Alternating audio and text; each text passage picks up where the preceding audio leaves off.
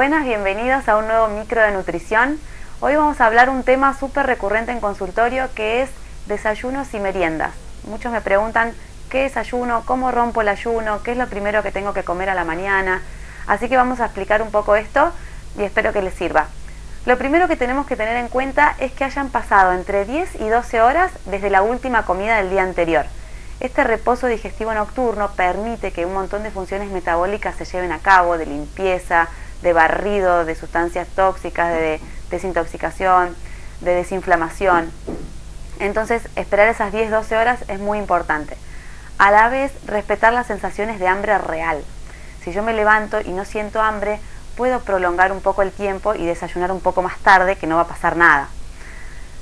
Lo primero que tenemos que incorporar en un desayuno y en una merienda es un alimento rico en fibra. Por ejemplo, pueden ser vegetales, pueden ser frutas, pueden ser eh, cereales integrales o agregar al desayuno que tengo salvado de trigo o germen de trigo, legumbres, por ejemplo, humus de garbanzo o alguna tortillita con lentejas turcas. Eh, esos son fuentes de fibra que podríamos agregar. Otro alimento o otra fuente de alimentos que tenemos que incorporar es eh, proteico, ¿sí?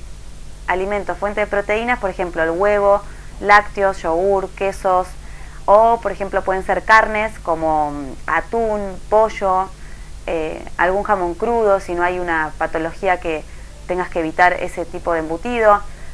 Eh, salir un poco de lo convencional, agregar atún en un desayuno está bueno, o, una brusquetita con pollo arriba también está bueno. Las legumbres también tienen proteínas, los frutos secos también tienen algo de proteínas, que son cosas que también podemos ir agregando. Otro eh, grupo de alimentos son las grasas saludables, por ejemplo pueden ser eh, aceitunas, palta, eh, agregar oliva en alguna preparación, semillas, semillas de chía, semillas de sésamo, de lino, bueno, cualquier tipo de semillas, los frutos secos, está buenísimo incorporar a diario, esto aumenta nuestro colesterol bueno, por así decirlo, aumenta el aporte de omega 3, que también es una grasa antiinflamatoria. Y por último, el cuarto grupo de alimentos son los hidratos de carbono, que ahí tendríamos nuestro aporte energético del desayuno.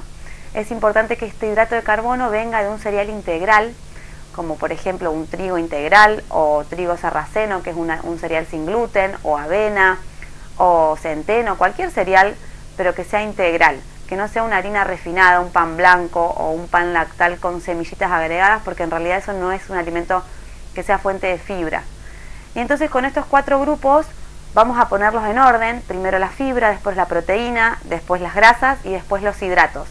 Esto va a hacer que el hidrato de carbono que agregamos al último se metabolice mejor y se absorba de una manera más lenta y prolongada y no genere un pico de glucemia que hace que eh, nos llenemos en ese momento y al ratito volvamos a tener hambre. Entonces, con estos cuatro grupos de alimentos podemos hacer distintas combinaciones, eh, por ejemplo, y doy ejemplos fuera de lo convencional, más allá de la tostada con queso y mermelada que por ahí uno está acostumbrado a comer, es preferible alimentos más naturales, un pan integral casero de alguna panadería con hummus, con tomate, o por ejemplo un, huevo tipo omelette con rúcula, em, con tomate o un plato de frutas con germen de trigo y huevo, eh, una tostada con palta, con huevo, eh, tortillitas de avena con frutas, con yogur, em, yogur con frutos secos, con cereales, con semillas, el chía pudding, que es un postrecito que se arma con semillas de chía y yogur o leche. Hay un montón de variantes y un montón de opciones que se pueden hacer de manera natural.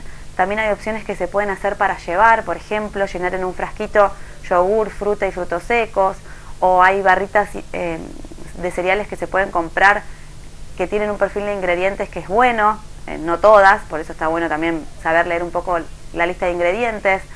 Eh, y de esta manera podemos empezar el día de una manera más saludable, con un impacto metabólico bueno y ir previniendo el desarrollo de enfermedades que pueden ser cuando uno desayuna alto en azúcar o alto en grasas. Bueno, eso fue todo por hoy, espero que les haya servido y nos vemos en el próximo micro.